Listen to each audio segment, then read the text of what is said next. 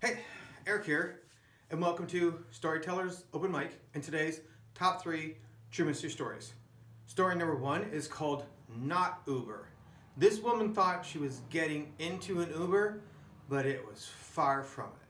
Story number two is called Five Scary Videos. Not just ring cams, but other freaky videos as well.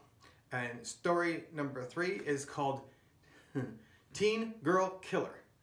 No, this is not a story about a killer of, of a teen girl. The teen girl was the killer.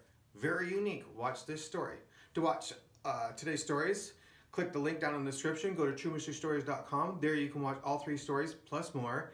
And as always, don't forget to vote for and share your favorite stories. Thanks for watching.